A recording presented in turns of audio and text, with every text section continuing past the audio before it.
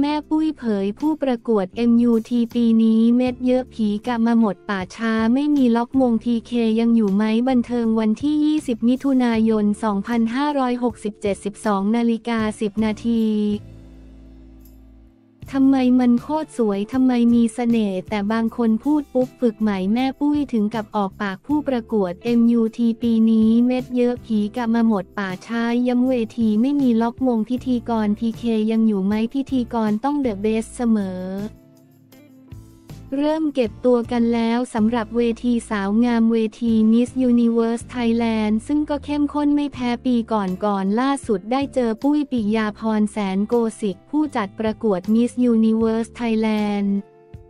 ผู้สื่อข่าวได้สอบถามว่ามองเห็นบ้าง หรือยังว่าใครจะเป็นตัวเต็งในปีนี้ เริ่มเข้ากองแล้วมีใครในใจไหม จากการที่เราทำนางงามมาหลายปีในใจมีที่จะเข้ารอบลึกๆ แต่ว่าโพในใจก็เปลี่ยนทุกวัน เพราะบางทีลีลาท่วงท่าและบอดี้มันจกตาเหมือนกันนะ บางที เพราะฉะนั้นบางคนพอพูดปุ๊บเราต้องเงยหน้ามองลอดแว่น ว่าทำไมมันโคตรสวยเลยทำไมมีเสน่ห์อย่างนี้ แต่บางคนสวยมาก พอพูดปุ๊บลูกไม่เอาฝึกใหม่ เพราะฉะนั้นเพิ่งจะเริ่มกองทัพ ยังชี้ขาดไม่ได้แอบดูทรงปีนี้บอกเลยว่าเม็ดค่ะ แก้วมังกรหมดสวนค่ะ ดิฉันกินจนท้องกลางเลยเม็ดติดฟันไปหมด บางคนสวยขึ้นมา เพราะผีกะเริ่มทำงานหรือเปล่า ผีกะน่าจะหมดป่าช้าปีนี้ เพราะว่าสวยหมดเมื่อวานถ่ายรูปใต้น้ำเปียกน้ำชีขึ้นมาเอาอยู่หมดปีนี้จะเชียร์สนุก ตรงที่ว่าผู้เข้าประกวดสวยฉลาดสาย speech ถาม 30 วิตอบไป 80 วิเลิศ mission ก็ไม่แกงเขาเรียกว่าท้าทายก็เธอเม็ดฉันก็ต้องเม็ดมีล็อกมงไหม โอ้ยล็อกมงโดนทุกปีไม่ล็อกหรอกค่ะ เพราะสปอนเซอร์จ่าย 10 ล้าน 5 ล้าน ถ้าไปล็อกมงแล้วเขาไม่เอาเราอีกแล้วเนี่ยเหนื่อยหาค่ะ เพราะฉะนั้นทุกคนยังให้ความรักเราอยู่อย่างนี้ ก็เป็นข้อพิสูจน์ได้ดีอยู่แล้ว ถ้าสปอนเซอร์อยากได้แบบแอนโทเนีย เรามีให้เขาไหมสปอนเซอร์เราน่ารักค่ะ เพราะทุกครั้งที่เราคุยกับ main sponsor อันนี้เป็นสิ่งที่โคตรจะปลื้มใจเลย คือไม่เคยมีใครสักคนที่จะมาล็อกมง เพราะถ้ามาล็อกมง TPN ก็ไม่เอาไปหาเจ้าหน้าทุกคนน่ารักมากเลือก Empower Women จริง ๆ กระแสหนาหูทุกวันเรื่องล็อกมงจัดการอย่างไร เขาก็ต้องบอกว่าเราล็อกทุกปีแม่ตั้งในใจว่าจะมีคนเกลียดเพิ่มขึ้นทุกปี เพราะว่ามงมีอันเดียวด้อมที่ได้มงจะชมจนฉันเหลิงลืมตัวตนไปเลย เป็นนางฟ้าส่วนด้อมที่ไม่เข้ารอบก็จะสาบฉัน แต่หาแคร์ไม่การทุกข์ใจ การร้อนรนเป็นปัญหาของพวกคุณไม่ใช่ปัญหาของแม่ปุ้ยจบงานแล้วก็คิดปีต่อไป แต่จริง ๆ พวกเขาน่ารักนะเห็นด่าด่าแบบนี้ แต่ก็มาดูทุกปี ถ้าถามว่าแม่ปุ้ยอยากได้นางงามแบบไหม ก็เหมือนทุกปีค่ะ ต่างชาติเห็นแล้วจะบอกว่าเอาอีกละ มันสนุกนะ เวลาไปเมืองนอกและไทยแลนด์เดินไป เขาบอกว่ายูแข็งแกร่งนะ เป็นความฮึกเหิมความได้หน้าของประเทศ เราเราชอบบรรยากาศ ตรงนี้ดังนั้นคนที่จะไปก็ต้องมีความพร้อม มีความเป็นนักสู้อย่าง แอนนาเสือ ไปเมืองนอกไม่เห็นมีฝรั่งมาด่าเลยว่าพูดไม่ได้เหรอ นางก็พูดของนางฝรั่งก็รักก็ชอบอันนี้ตัวอย่างนะ ปีที่แล้ว แอนโทเนีย สร้างมาตรฐานไว้สูงมากปีนี้จะต้องยังไง แม่ปุ้ยว่าแต่ละปีสูงด้วยตัวของมันเองอยู่แล้ว ส่วนรูปลักษณ์จะเป็นยังไงเปลี่ยนปีก็เปลี่ยนคนเปลี่ยนบทบาท เพราะฉะนั้นแซบแน่นอนปีนี้พิธีกรเปลี่ยนไหม โปรดติดตามค่ะ ถ้าบอกหมดจะไม่มีอะไรให้ลุ้น พิธีกรคนเดิมมีข่าวมีผลต่อเวทีไหม ถามว่ามีผลต่อเวทีไหม เราแยกเป็นสองประเด็นเขาทำงานได้ดี เราต้องบอกว่าวินาทีนี้น้องเขาเก่ง เขาเอายู่โฮเวทีได้สตีฟฮาวียังเคยชมเลยว่าทำไมคนนี้เก่งเป็นพิธีกรที่เก่ง แต่ถามว่าเรื่องส่วนตัวมีผลไหม มันก็มีผลเหมือนกันในบรรทัดฐานว่าเราทำงานเกี่ยวกับองค์กรผู้หญิง มันย้อนแย้งกันแล้วอีกอย่างหนึ่งเรื่องแบบนี้ จากประสบการณ์เราจะมาบอกว่าใครถูก ใครผิดเราไม่รู้ความจริงใด ๆ ทั้งสิ้นแต่ใด ๆ ก็ตาม แม่ปุ้ยก็ซับพอร์ตเพื่อนหญิงพลังหญิงพิธีกรจะเปลี่ยนไหมเดี๋ยวรอลุ้นรอติดตามค่ะ ถามว่าเราคุยกับเขาไหม ก็คุยค่ะ เพราะเป็นน้องชายคนหนึ่ง เพราะพี่ชายเขาก็เป็นเพื่อนรักแม่ปุ้ย เราก็แยกแยะเรื่องงานเรื่องส่วนตัว และเราก็ไม่ได้บอกว่าพิธีกรคนใหม่หรือคนเก่า แต่พิธีกรต้องเดอะเบสเสมอค่ะ กลัวไหมว่าถ้าหากเป็นคนเดิมจะมีพลังเพื่อนหญิงพลังหญิงมาร้อง ไม่กลัวเพราะเราต้องทำการบ้านก่อนแล้วตั้งแต่เกิดเรื่องเราต้องคิดทันทีว่าจะแยกเส้นเรื่องยังไง ระหว่างเรื่องส่วนตัวกับเรื่องงาน แฟนนางงามเอารูปพิธีกรตัวเต็งมาเลือกกันแล้ว โอ้โห เลือกกันไปหมดเลย เดี๋ยวดูนะคะว่าพิธีกรปีนี้จะเป็นใคร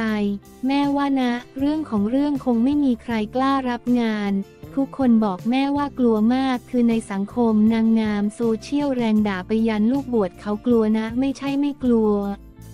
แม่ก็ต้องบอกว่าเราต้องสร้างความแข็งแกร่ง เราจะให้ใครรับงานก็ต้อง brief เขาให้จิตแข็งนะ เพราะลูกทัวร์แรงมาก เราต้องแข็งแกร่งไม่กลัว ถ้าผ่านเวที MUT ไปได้จะไม่มีอะไรมาทำร้ายคุณได้อีกแล้ว จะทราบเมื่อไหร่กับพิธีกรคนใหม่ หรือมีหลายคนที่เตรียมไว้แล้ว บอกเลยว่าไม่รู้ว่าจะเป็นคนเก่าหรือคนใหม่ ต้องลุ้นค่ะ อย่าหลอกถาม หัวเราะ แม่ยังไม่เคาะค่ะ ยังเหลืออีกหลายวัน ยิ้ม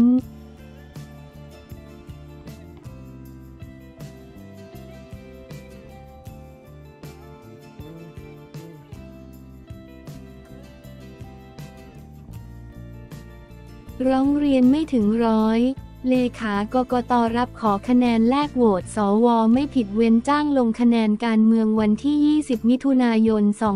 2567 10นาฬิกา19 นาที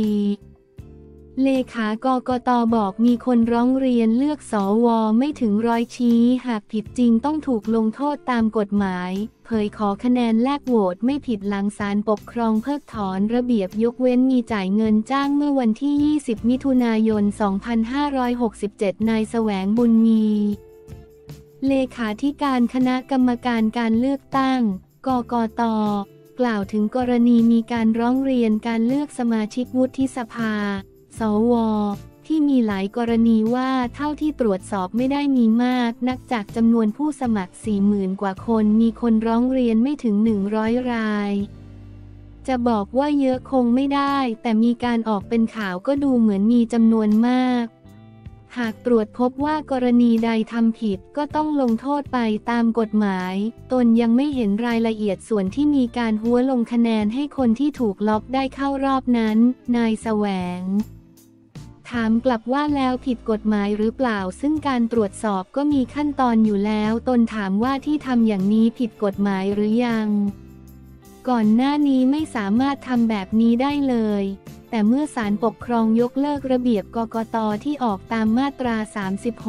36เราจึงไปห้ามตรงนั้นไม่ได้ เมื่อก่อนจะไปขอคะแนนหรือแลกคะแนนกันก็ไม่ได้ ซึ่งเป็นเรื่องของกรอบในการแนะนำตัวที่กำหนดเอาไว้ด้วย เมื่อมีการยกเลิกก็ฟรีอิสระแล้ว ก็ว่ากันไปยกเว้นมีการจ่ายเงินจ้างมาลงคะแนน ตอนนั้นเราคิดว่าออกแบบมาเพื่อให้การเลือกตั้งเป็นธรรม แต่ศาลมองเรื่องสิทธิเสรีภาพ ซึ่งก็ไม่มีใครผิด เราก็ทำได้ตามที่เขากำหนดมาเท่านั้น นายแสวง กล่าวเมื่อถามว่าผลที่ออกมาจึงอาจจะมีสวสายอนุรักษ์ สวสีส้มไม่ได้กระจายตามตัวแทนกลุ่มอาชีพจริง นายแสวงกล่าวว่าก็พูด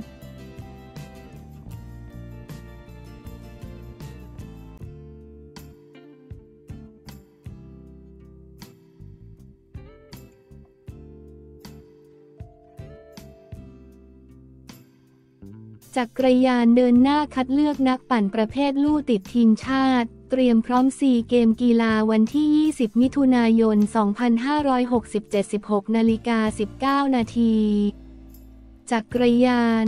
โดย เสหมึกพลเอกเดชาเห็นกระสีนายกสมาคมกีฬาจักรยานเตรียมคัดเลือกนักปั่นผลงานดีในจักรยานลู่ชิงแชมป์ประเทศไทย ติดทีมชาติเตรียมพร้อมลุยซีเกม เสหมึกพลเอกเดชาเหมกระสี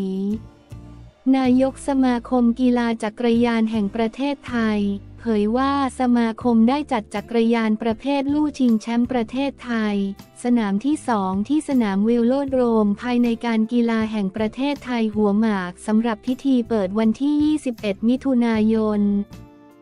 ได้รับเกียรติจากดรสาธิตปิตุเตชะ ประธานที่ปรึกษาฝ่ายจริยธรรมของสมาคมกีฬาจักรยาน เป็นประธานในพิธีทั้งนี้ คณะกรรมการจัดการแข่งขันได้จัดพิธีถวายพระพรชัยมงคล สมเด็จพระนางเจ้าสิริกิติ์พระบรมราชินีนาถ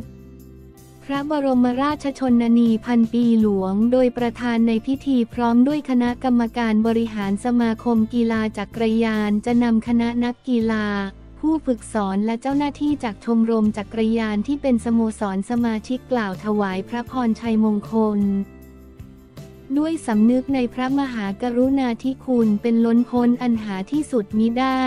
ที่พระองค์ทรงพระราชทานถ้วย ควีนซิริกิต เป็นถ้วยรางวัลถาวรให้แก่ผู้ชนะเลิศการแข่งขันจักรยานประเภทลู่ชิงแชมป์ประเทศไทย มาตั้งแต่ปีพศ 2543พลเอกเดชากล่าวว่าจักรยานประเภทลู่ชิงแชมป์ประเทศไทย สนามที่สองนี้เป็นสนามที่มีความสำคัญต่อนักกีฬาทุกคน เนื่องจากสมาคมจะทำการพิจารณาคัดเลือกนักปั่นที่ผลงานโดดเด่น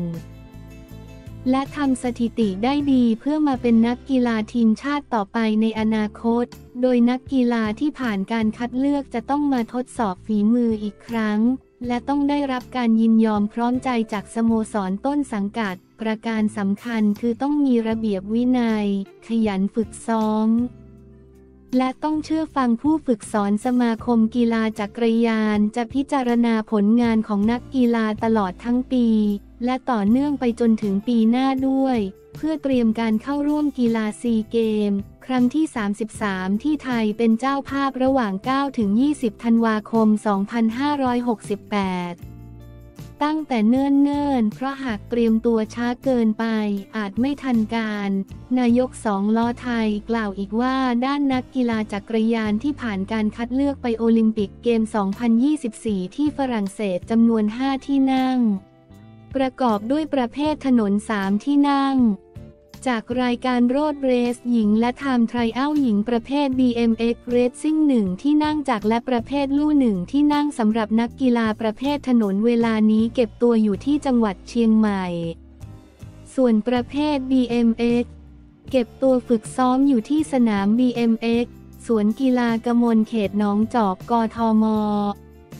ของบริษัท FBT ขณะที่ประเภทลู่ยังปักหลักฝึกซ้อมอยู่ที่ศูนย์ฝึกจักรยานโลก ประเทศสวิตเซอร์แลนด์ สมาคมตั้งเป้าหมายผลงานของนักกีฬาที่จะลงแข่งโอลิมปิกเกม 2024 ที่กรุงปารีสเอาไว้ว่าประเภทถนนจะต้องแข่งจนครบระยะเส้นทางที่กำหนดทั้งชายและหญิง ส่วนประเภท BMX ต้องลุ้นให้ผ่านเข้ารอบลึกที่สุด ด้านประเภทลู่นั้นใจจะลงแข่งขันสองรายการคือคีรินกับสปรินต์แต่ใจถนัดแข่งขันในประเภทคีรินมากกว่า หากไม่เกิดอุบัติเหตุในรอบแรกใจมีลุ้นเข้ารอบลึกๆ เช่นกันเวลานี้นักกีฬาจักรยานทุกคนต่างตั้งใจฝึกซ้อมอย่างหนักและต้องการสร้างเสียงให้แก่ประเทศไทย อย่างไรก็ตามต้องฝากให้พี่น้องประชาชนชาวไทยช่วยส่งแรงใจเชียร์นักปั่นไทยให้ทำผลงานได้ตามเป้าหมาย